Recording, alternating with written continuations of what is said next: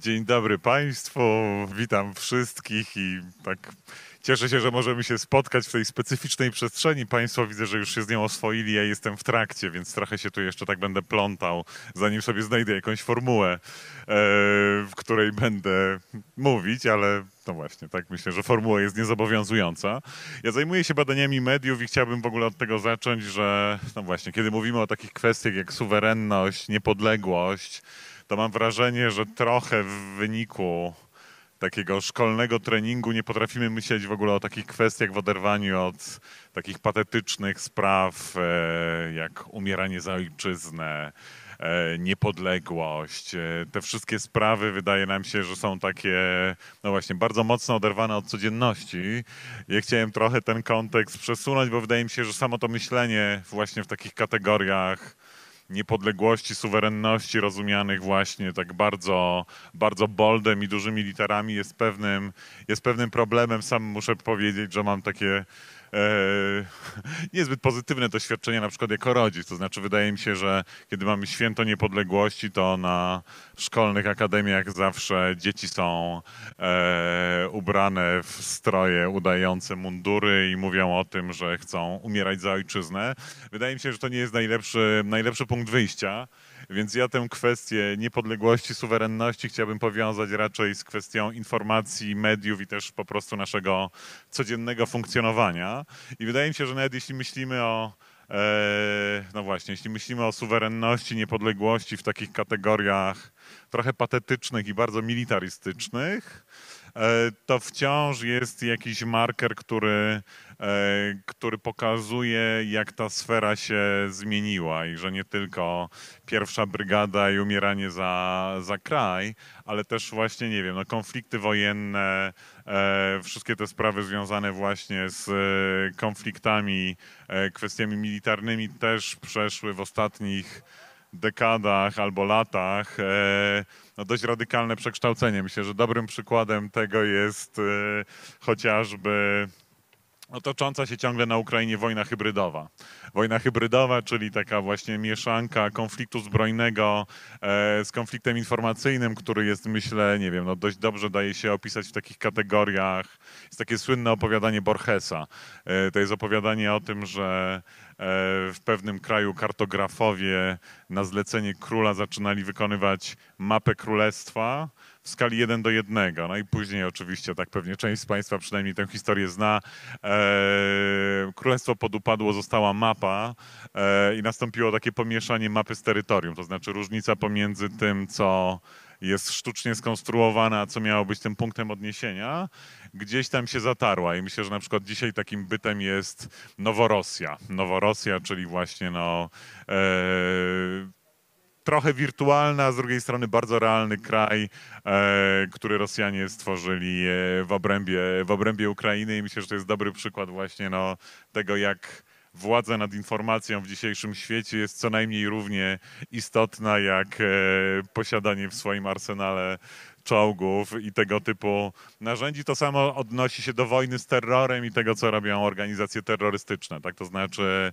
e, nawet organizacje posiadające relatywnie ograniczone środki, nazwijmy to przymusu bezpośredniego, są w stanie powodować strach, panikę, kontrolować pewne obrazy albo wytwarzać pewne obrazy, które, no właśnie, które mają szeroki społeczny zasięg, tak? Bo wystarczy, że ktoś nagra to, jak ktoś ma obcinaną głowę i wtedy te obrazy krążą w mediach na całym świecie i tak naprawdę mają zasięg większy niż, e, niż niejednokrotnie bezpośrednie działania, e, działania militarne. I przypis do tego wszystkiego oczywiście jest też taki, tak ja jestem medioznawcą i e, oczywiście nie chciałbym, żeby to, o czym teraz mówię, żeby Państwo odbierali w takich kategoriach medioznawcy mówią o tym w kategoriach mediocentryzmu, to znaczy właśnie takie e, bliskie osobom zajmującym się badaniem mediów przekonanie, że, że media są najważniejsze, że są centrum świata społecznego,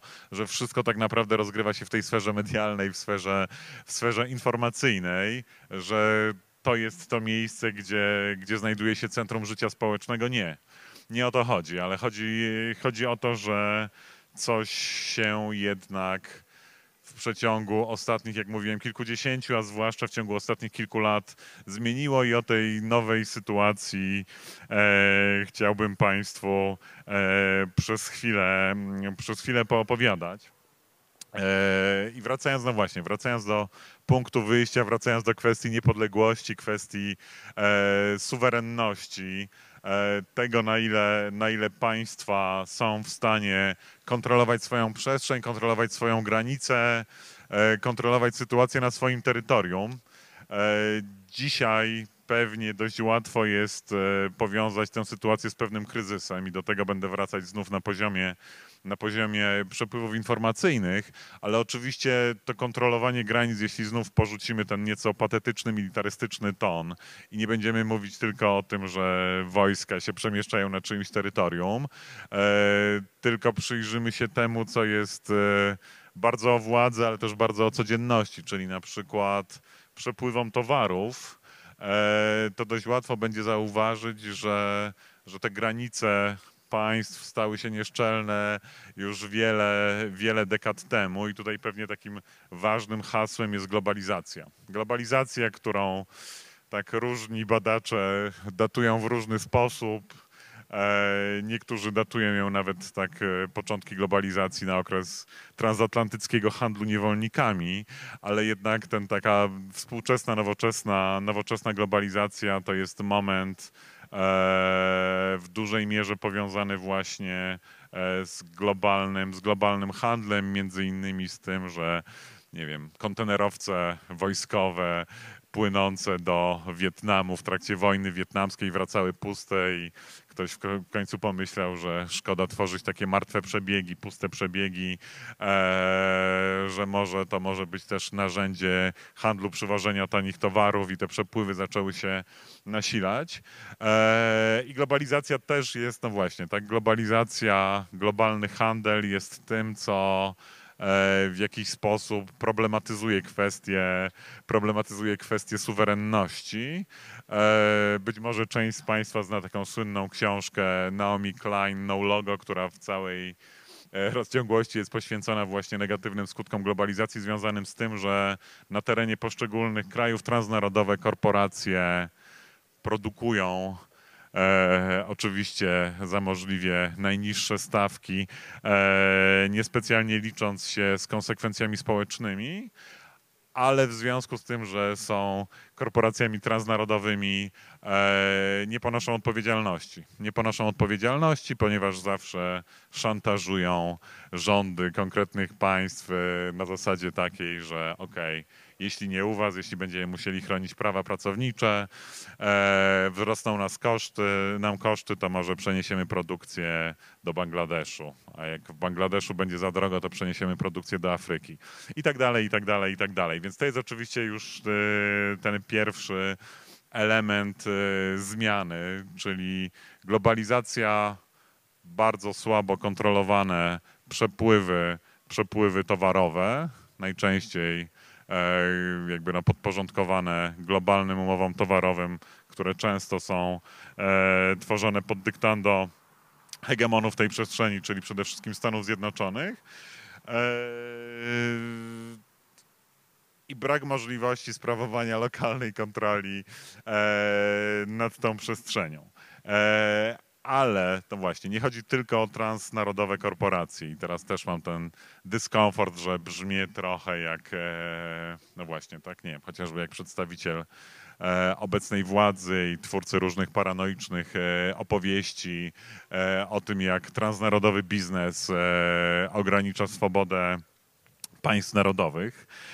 Ja od tej części narodowej chciałbym się mocno zdystansować, ale, ale właśnie, tak to jest tylko część problemu. Część problemu związana właśnie e, z firmami, które mają dzisiaj często moc sprawczą większą niż, e, niż rządy państw, ale zmieniło się coś jeszcze, tak? I, e, i to coś jeszcze zmieniło się za sprawą oczywiście internetu, tylko kiedy mówimy o internecie, problem też polega na tym, że samo słowo internet jest takim, no właśnie, tak, rzeczownikiem w liczbie pojedynczej, który sugerować mógłby, że internet jest jakąś statyczną niezmienną całością, jedną konkretną usługą, którą jesteśmy w stanie w łatwy sposób opisać, co oczywiście jest nieprawdą. Jest też pewien chichot historii. E, dobrych kilkanaście lat temu George W. Bush, ówczesny prezydent Stanów Zjednoczonych, który wydawał się wtedy e, no, jedną z mniej odpowiedzialnych w historii osób na tym stanowisku. Z dzisiejszej perspektywy możemy wręcz czuć rodzaj nostalgii za czasami rządów George'a e, W. Busha. E, popełnił taką słynną pomyłkę językową i mówił właśnie o internetach E, dzisiaj często, dzisiaj często, no właśnie, internety wydaje się są lepszym, lepszym określeniem dla tego, z czego korzystamy, e, ale nie chodzi tylko o to, że różne grupy osób e, w rozmaitych podgrupach korzystają z różnych usług, bardzo często nie tych samych. To w Polsce na przykład dość dobrze widać, możemy sobie, nie wiem, no, gdybyśmy, gdy, gdybym teraz zapytał Państwa o to, co robicie w sieci. No właśnie, tylko mamy, mam wrażenie, na przykład wiekowo chyba dosyć, dosyć homogeniczną grupę, tak? Ale możemy na przykład na podstawie e, praktyk internetowych Polaków z dużym prawdopodobieństwem stwierdzić, w jakim są wieku, tak? To znaczy właśnie, nie wiem, mail staje się coraz bardziej e, narzędziem wykorzystywanym przez osoby, które już pracują, taką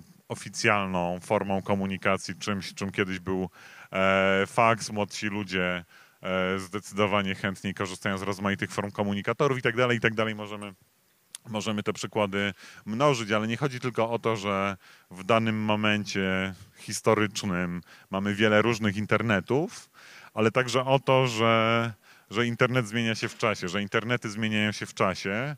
E, I znów jakby patrząc e, na państwa, no to pewnie e, próbując jakoś w koncypować państwa wiek jest spore prawdopodobieństwo, że przynajmniej część z państwa jeszcze kilka, może kilkanaście, ale pewnie kilka lat temu bardziej pisała blogi pisała blogi, wszyscy wtedy pisali blogaski. Tych blogasków w Polsce było kilka milionów. E, co prawda najczęściej nowo zakładane blogaski kończyły swój żywot na pierwszym wpisie, e, ale to były te czasy, no właśnie, to były te czasy, kiedy wiele osób, ja również wierzyło w to, że internet jest tą taką emancypacyjną technologią, która pozwala na zabieranie takiego, no właśnie, oddolnego, oddolnego głosu i że to jest ta nowa, inkluzywna, demokratyczna jakość związana z przestrzenią komunikowania, z tym, jak funkcjonuje przestrzeń publiczna. E, było też w tym takie założenie, że warto jest, warto jest zabierać głos, warto jest się wypowiadać, warto jest tworzyć, warto jest e, pisać.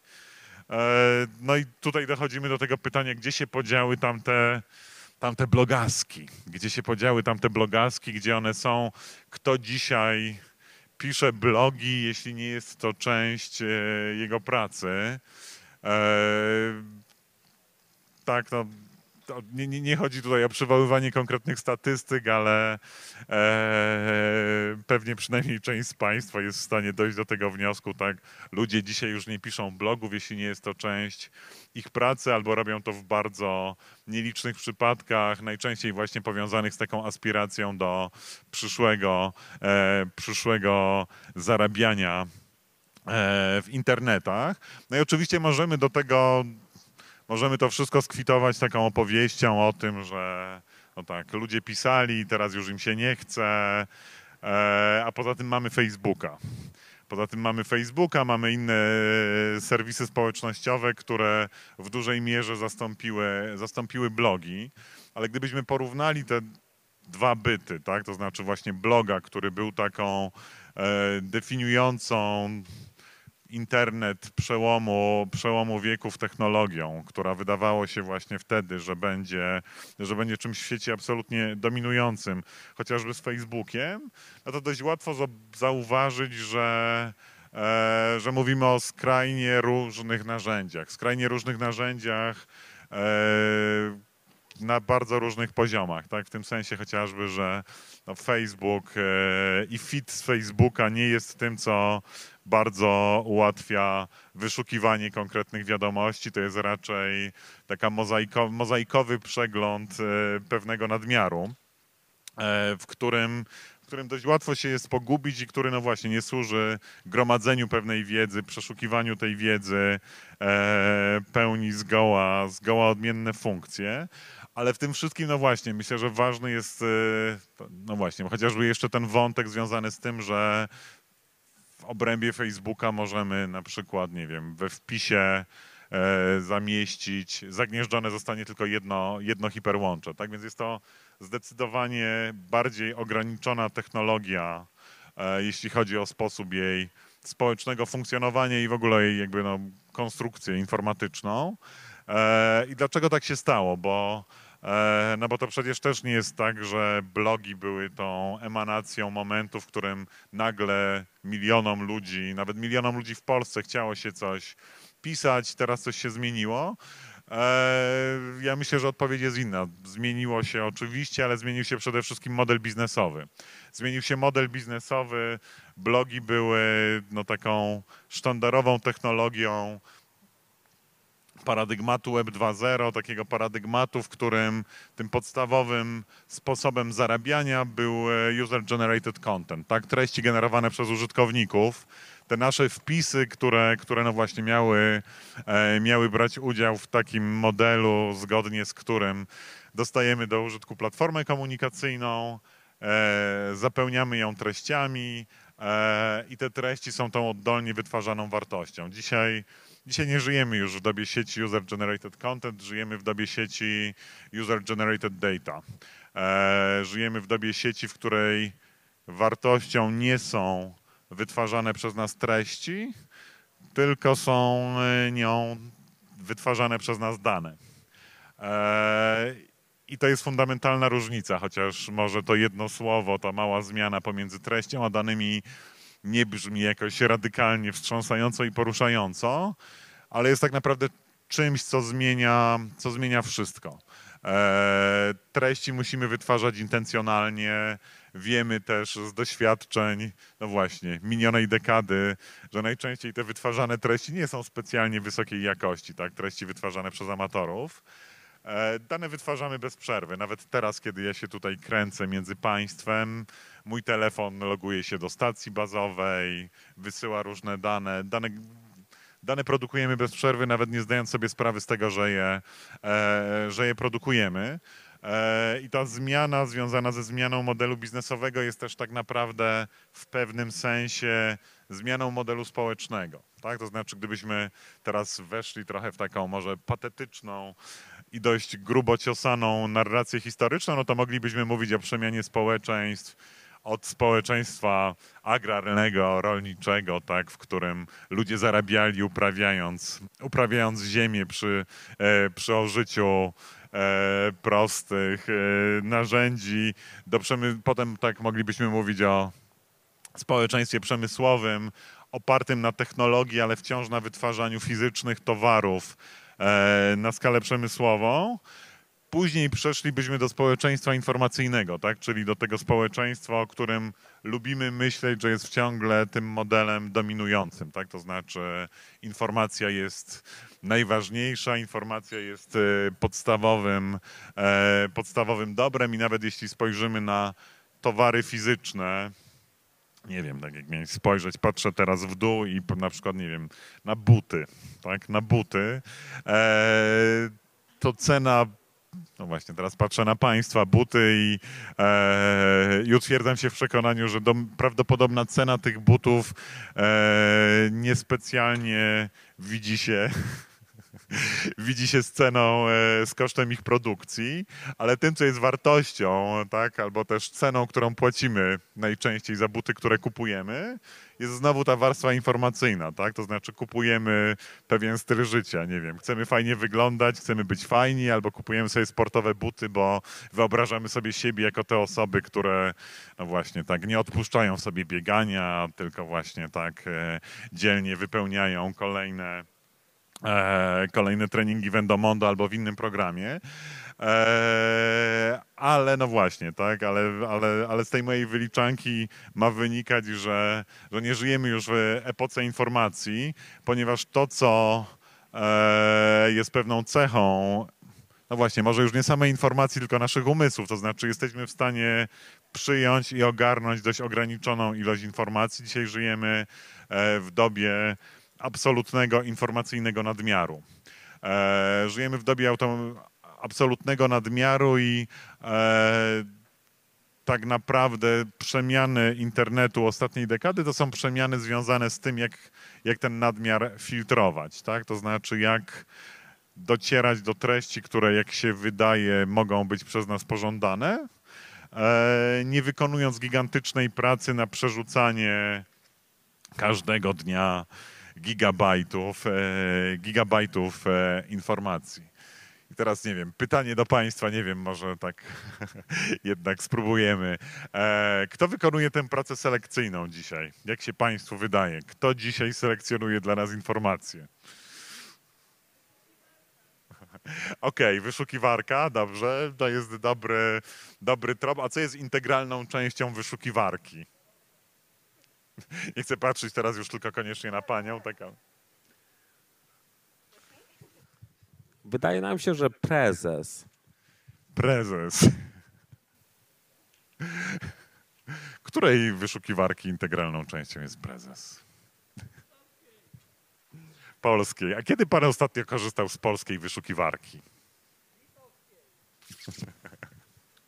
No właśnie, Chodziło bo tu dochodzimy do tego napięcia. Tak? To znaczy, z jednej strony żyjemy w Polsce i prezes ważną figurą jest, czy ją lubimy, czy nie, e, ale z drugiej strony funkcjonujemy w świecie, w którym korzystamy, jak pani powiedziała wcześniej, z wyszukiwarek i te wyszukiwarki oparte są na algorytmach na algorytmach. I to słowo pewnie ostatnie jest wręcz nadużywane, chociaż możemy je zdefiniować w bardzo prosty sposób. Tak, algorytmy to są gotowe formuły rozwiązywania pewnych problemów. Tak, przepis na szarlotkę jest w pewnym sensie algorytmem. Tylko dzisiaj żyjemy w świecie algorytmów, które są bardzo, bardzo, bardzo skomplikowane. Są algorytmami samouczącymi się i są też czymś, o czym coraz częściej lubimy myśleć, albo mamy tendencję do myślenia w takich kategoriach, że jeśli, nie wiem, firmy kurierskie korzystają z algorytmów, które, nie wiem, podpowiadają trasę dla kurierów i te algorytmy liczą setki stron wydruków. Eee, algorytm Google'a jest zmieniany i modyfikowany kilka razy w ciągu doby, to często myślimy sobie o tym w ten sposób, że to jest zbyt skomplikowane, żeby się w ogóle w tym grzebać i że to są w ogóle jakieś takie kwestie dla geeków, którzy niech sobie tam dubią w tym kodzie, my się tym e, nie zajmujmy. I myślę, że myślenie w ten sposób jest dość poważnym, dość poważnym problemem. To znaczy, jeśli przyznalibyśmy, a wydaje mi się to mało jakaś ekscentryczna myśl w dzisiejszym świecie, że algorytmy mediów społecznościowych, algorytmy wyszukiwarek mają wpływ na nasze życie, bo podpowiadają nam to, co kupujemy, co czytamy, czego słuchamy, co oglądamy. Mm, no to te algorytmy mają gigantyczną moc sprawczą i są po prostu zbyt ważne, żeby zostawić je dla informatyków, ale oczywiście to myślenie o tym, że to jest kwestia tylko i wyłącznie e, technologiczna, gdzieś tam oderwana od życia społecznego, no jest znów e, w pewien sposób dla niektórych podmiotów wygodna, tak? E, żebyśmy myśleli o technologii jako odrębnym bycie, e, a nie o splocie tego, co, co techniczne i tego, co, e, co społeczne. Chociaż gdybyśmy, choć, nie wiem, na przykład, nie wiem, czy Państwo podzielają to doświadczenie, ale na przykład dla mnie najlepszą, nie wiem, jeśli mam pomyśleć o największej innowacji technologicznej, która poprawiła jakość mojego życia w ostatnich latach, to jest to, E, bezpłatny roaming na terenie Unii Europejskiej. Tak, to znaczy sytuacja, w której jestem, nie wiem, za granicą i nagle nie muszę się obawiać, że dostanę rachunek na kilkaset złotych albo na kilka tysięcy, bo korzystam e, z nawigacji. To jest coś, co w radykalny sposób podniosło mój komfort podróżowania na terenie Unii. Kiedy wyjeżdża się poza Unię, to też łatwo sobie przypomnieć, jak, e, jak duża zmiana się dokonała. To jest zmiana, która nie ma nic wspólnego z konkretnym rozwiązaniem technologicznym. Tak, to jest zmiana, która została wymuszona przez Komisję Europejską e, na poziomie prawnym. Stąd myślę właśnie, że ta kwestia myślenia o technologii jako o czymś odrębnym od życia, tak, albo e, domenie informatyków jest problematyczna. Jest taka amerykańska badaczka Wendy Chan, która zajmuje się kwestiami sposobów, w jakie rozmawiamy o technologii. I ona stworzyła takie pojęcie sorcery. Sorcery, które składa się z dwóch członów. Source jak źródło w sensie kodu źródłowego. W takiej zbitce, która przypomina sorcery, tak, czyli włącza nam rozmaite czarodziejsko-magiczne skojarzenia. Zresztą w hakerskim słowniku też od lat 70. jest takie pojęcie, że coś dzieje się automagicznie. Jego definicja jest taka, że jeśli zrobiłeś coś w wyrafinowany sposób z kodem i zakładasz, że większość ludzi jest zbyt głupia, żeby to zrozumieć, to przyzwyczaj ludzi, że to się dzieje w sposób automagiczny. Tak? E, wiele rzeczy wokół nas dzieje się w sposób automagiczny. Na przykład nasze smartfony co pewien czas rano mają funkcjonalność, której nie miały nie miały wieczorem, kiedy kładliśmy się spać. Tego przykładów e, jest bardzo, bardzo dużo i to są przykłady znów o odbieraniu nam pewnej sprawczości, autonomii, może właśnie nawet e, suwerenności. Myślę, że to jest bardzo niebezpieczne zjawisko związane z budowaniem poprzez technologię pewnych podziałów społecznych i założenia, że jest właśnie trochę jak nie wiem, jak w starożytnym Egipcie, tak? To znaczy jak, e, tak jak w, e, elitarna kasta kapłanów, którzy wiedzą, co się robi z kodem i reszta osób, która wierzy im na słowo, tak? Eee, chociaż no właśnie, z historii wiemy, że zaćmienie słońca niekoniecznie jest o tym, że jakiś e, kosmiczny byt się na nas gniewa. Tak? Myślę, że dzisiaj też taką dobrą figurą jest ekstremalny przykład algorytmu, czyli sztuczna inteligencja. Sztuczną inteligencję też możemy traktować jako przykład e, e, no właśnie, takiego konstruktu dyskursywnego, który nam mówi ok, stworzymy taki program, który będzie wiedział lepiej niż wy i nie wtrącajcie się, bo jesteście za głupi, tak? Sztuczna inteligencja wygrywa w szachy, wygrywa w go, z kim wy chcecie rozmawiać, tak? Ale równocześnie ktoś pisze te programy, tak? ktoś uruchamia te algorytmy e, i w wielu sferach życia konsekwencje działania tych algorytmów dotykają nas e, wszystkich. E, takim wdzięcznym przykładem jest niedawna publikacja takiej amerykańskiej antropolożki Wiktorii Eubanks, która napisała o algorytmach sterujących spo pomocą społeczną e, w Stanach Zjednoczonych, która na podstawie rachunku prawdopodobieństwa etykietuje pewne grupy społeczne i odcina je tak naprawdę od wsparcia. Tak? E, bo oczywiście to też nie jest tak, że algorytmy służące do zarządzania populacją to jest coś, co pojawiło się dzisiaj, bo pewnie możemy znaleźć przykłady początków tego typu działań 400, już na pewno 200 lat temu, tak? Ale dzisiaj, kiedy to wszystko działa szybko i super efektywnie, nie jesteśmy w stanie tego kontrolować. Tym przykładem zatrważającej przyszłości często jest, e, często przywoływanym jest e, Flash Crash e, z roku 2010. To był taki krach na nowojorskiej giełdzie nowych technologii. W ciągu 30 kilku minut z rynku wyparowało wtedy E, wyparował wtedy bilion dolarów. E, bilion dolarów, e, ponieważ algorytmy wykonywały automatycznie gigantyczną ilość mikrotransakcji, rozhuśtały rynek, z którego zniknęła taka gigantyczna kwota. Dochodzenie próbujące wyjaśnić, co się wtedy stało w ciągu tych trzydziestu kilku minut trwało 6 lat i nie doszło do zbyt konstruktywnych wniosków. Więc myślę, że to jest ten dobry przykład też tutaj na to, że szybkość i efektywność e, także, także robi różnicę. Ale zostawmy, zostawmy na chwilę czas i zajmijmy się przestrzenią, przestrzenią publiczną.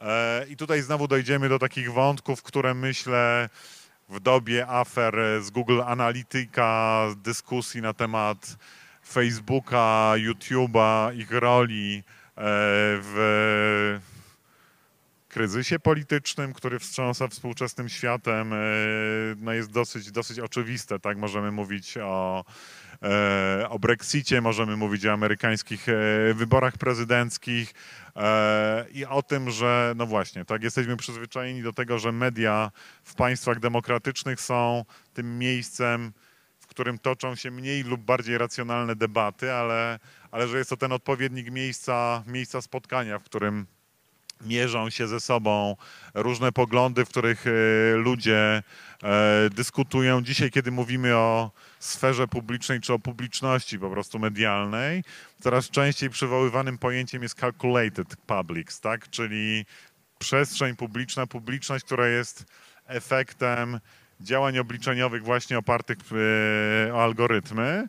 I te działania bardzo często nas od siebie po prostu separują. Tak, co na jakimś poziomie w kontekście wspomnianego wcześniej nadmiaru jest po prostu wygodne. Tak? To znaczy trudno jest pewnie sobie wyobrazić, że jeśli mamy, nie wiem, kilkuset znajomych na, e, na Facebooku i duża część tych osób uważa, że ma coś bardzo ważnego do powiedzenia światu kilka razy w ciągu doby, no to pewnie trudno jest sobie wyobrazić, że wszystkie te komunikaty będziemy oglądać i odczytywać e, równocześnie.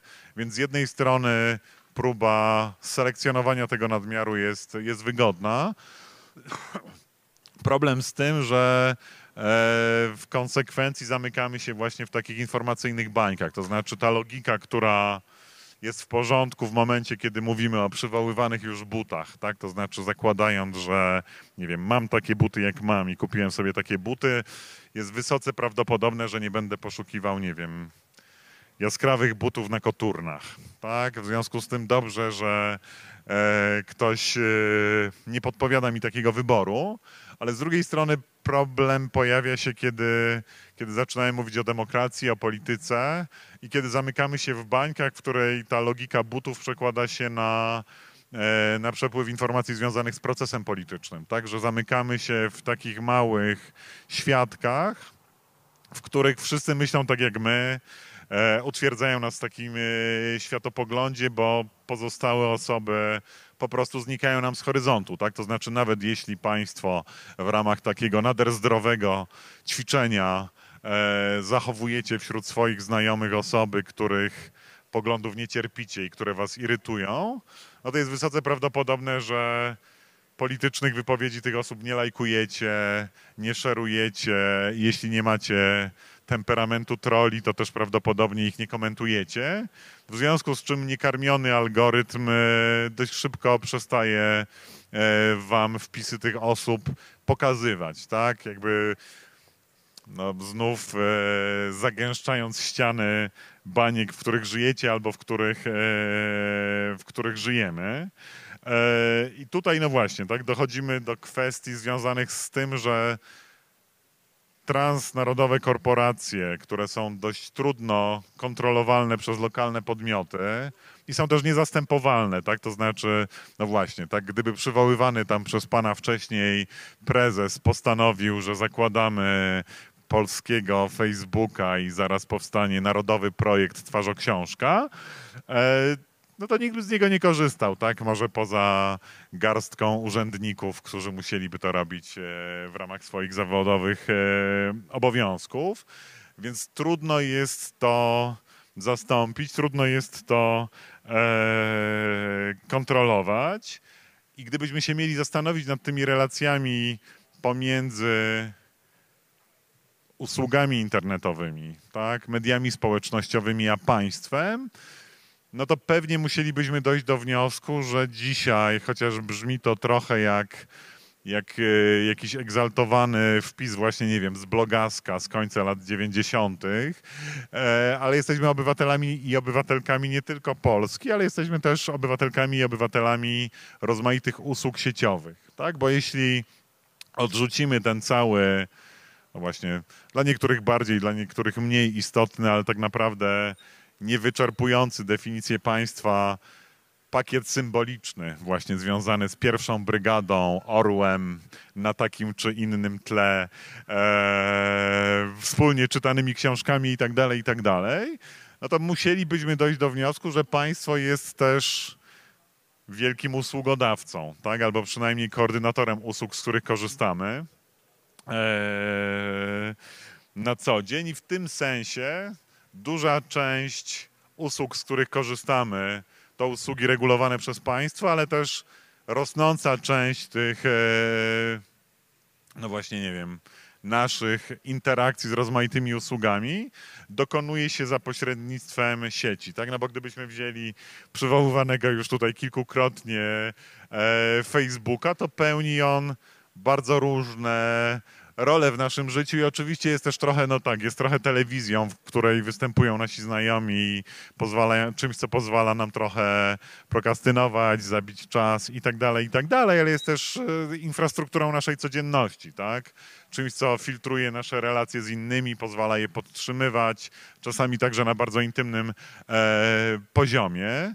E, I tak naprawdę oczywiście tak moglibyśmy też tutaj, mógłbym mieć tę E, opowieść o tym, że oczywiście tak świetnie byłoby, gdybyśmy, nie wiem, nie korzystali z tego typu usług e, i mogłem tutaj budować ten mit złotego wieku, który najczęściej kończy się tym, że najfajniej byłoby, jak, e, jakbyśmy wrócili do czasów, kiedy ludzie na golasa biegali sobie po lesie.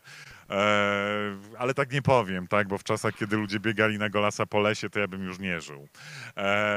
więc wydaje mi się, że lepiej, lepiej lepiej tego typu naiwnych, naiwnych opowieści nie budować, tylko zastanowić się właśnie tak jakby nie demonizując, tak, albo nie, nie, nie, właśnie nie tworząc jakichś naiwnych konstrukcji, uznać, że znaczna część usług oferowanych przez platformy internetowe jest czymś, co w znaczący sposób ułatwia nam nasze codzienne funkcjonowanie, ale jeśli złapalibyśmy się tej analogii pomiędzy usługami internetowymi a państwem i zastanowili się nad tą kwestią, to tak trochę zabrzmi patetycznie, obywatelskości, e, to myślę, że jest to dosyć, dosyć dobra metafora, która pozwala nam połączyć przestrzeń, którą dobrze znamy, tak? E, rozmowę o między innymi o prawach obywatelskich, e, z przestrzenią, która jest ciągle nowa i która tak naprawdę uformowała się na przestrzeni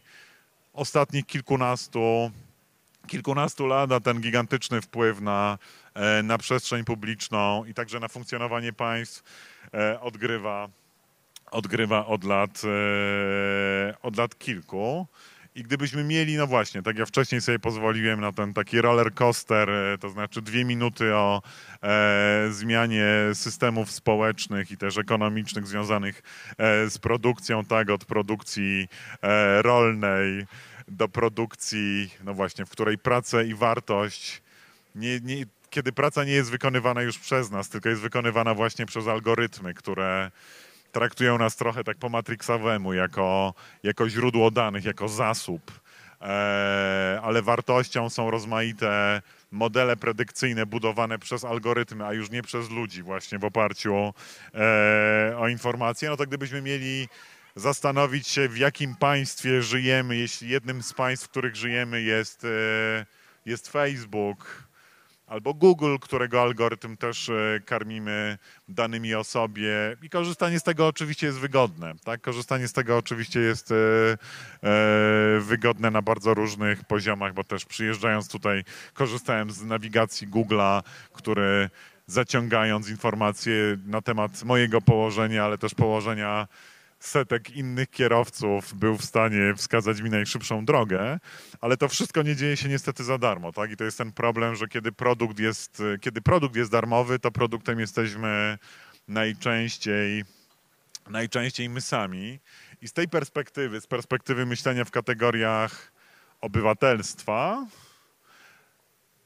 serwisy społecznościowe są państwami feudalnymi. Tak, są państwami feudalnymi. To dość dobrze było widać E, właśnie w momencie dyskusji na temat roli Facebooka, która no właśnie, tak, z jednej w oczywisty sposób naruszył suwerenność Wielkiej Brytanii, naruszył suwerenność e, Stanów Zjednoczonych, bo był narzędziem dla mikrotargetowania przekazu. Tak, to nie jest już niestety e, teoria spiskowa i nie mówię o tym dlatego, że mam paranoję i nie wziąłem dzisiaj leków, e, tylko dlatego, że mamy to dość dobrze udokumentowane. Także e, platformy internetowe były narzędziem rozszczelniania granic i no właśnie, tak, interwencji w procesy demokratyczne e, państw takich jak Stany Zjednoczone na pewno i Wielka Brytania na pewno, ilu nie na pewno, to, to możemy tylko, e, tylko spekulować.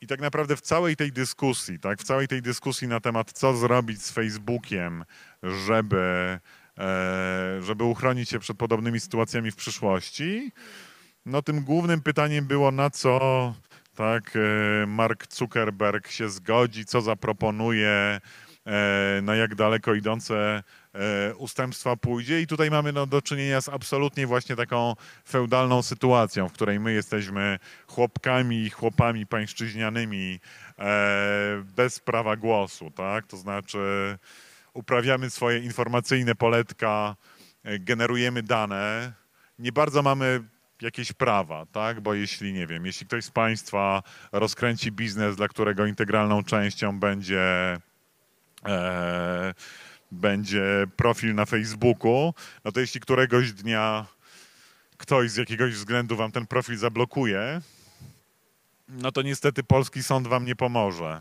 tak? E, możecie wykonać telefon do Indii, i liczyć, że będziecie mieli szczęście, tak? Więc tutaj ta suwerenność jest dość mocno, e, dość mocno naruszona i z tej perspektywy feudalnej tak naprawdę jedynym źródłem nadziei jest to, że dobry król Mark będzie e, władcą oświeconym, zgodzi się na pewne ustępstwa i sprawi, że, że będzie lepiej.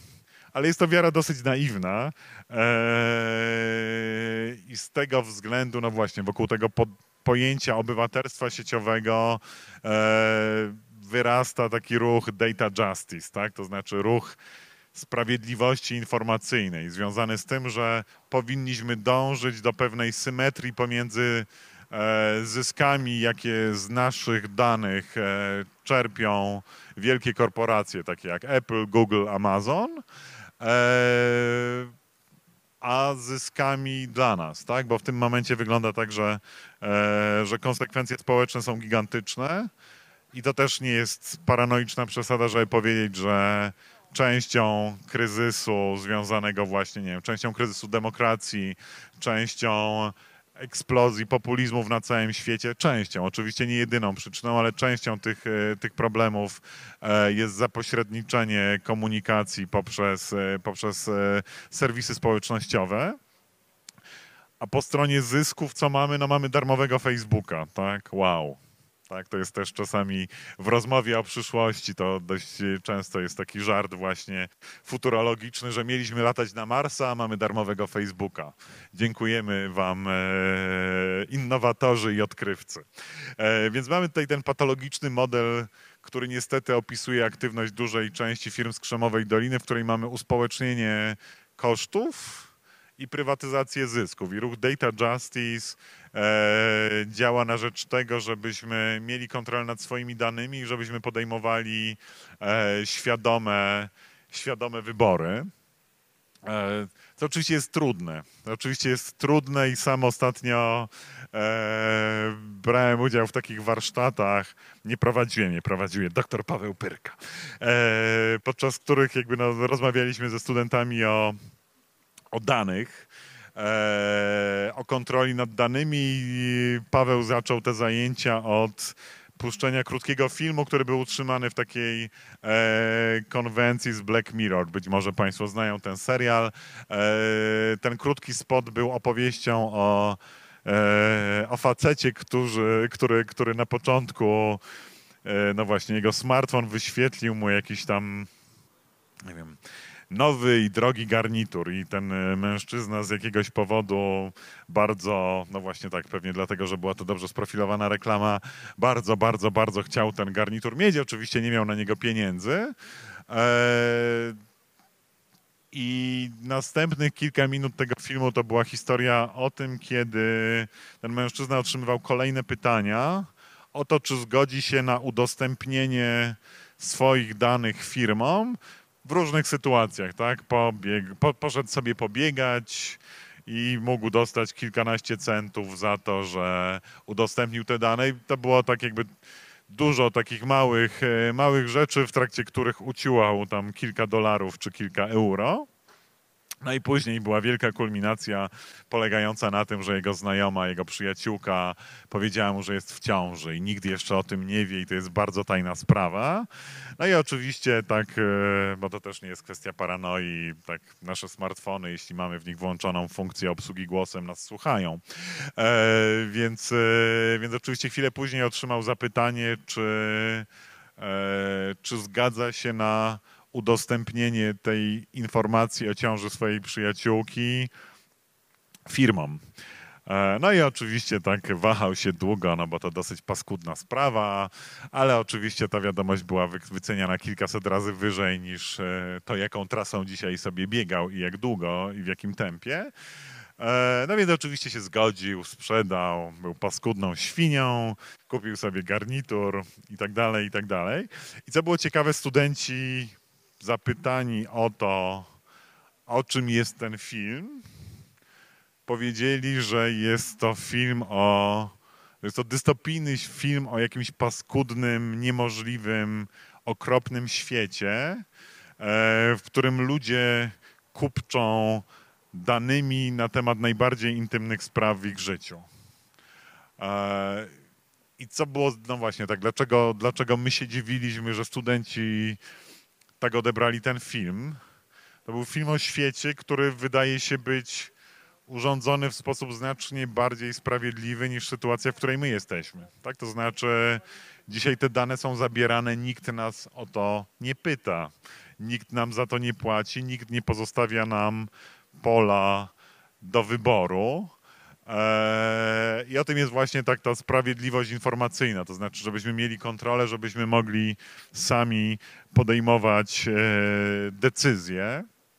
Tylko to jest oczywiście trudne, tak? I, I myślę, że już teraz mamy próbkę z RODO związaną z tym właśnie, no na ile jesteśmy gotowi do niekupczenia swoimi informacjami i podejmowania świadomych wyborów. I zawsze jak się mówi o świadomych wyborach, to jest to taka podlana smrodkiem pedagogicznym część opowieści, e, kto ma podejmować te decyzje i w imię czego.